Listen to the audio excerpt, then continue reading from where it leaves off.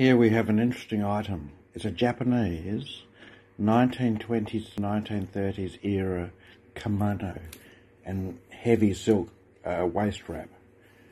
Now this was found on a farm in Udon Thani and I believe this was the lady who wore it back in the time of Siam during the invasion of, uh, well, occupation of, of Thailand.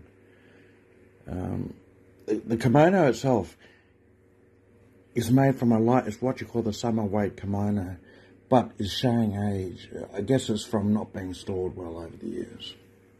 And, uh, you know, has some damage and the material is somewhat fragile. It needs to be in a frame. I had it in a frame before, but I needed the frame.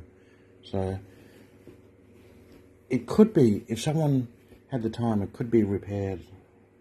You know, it's a full length kimono. Um, you know, you can see damage there.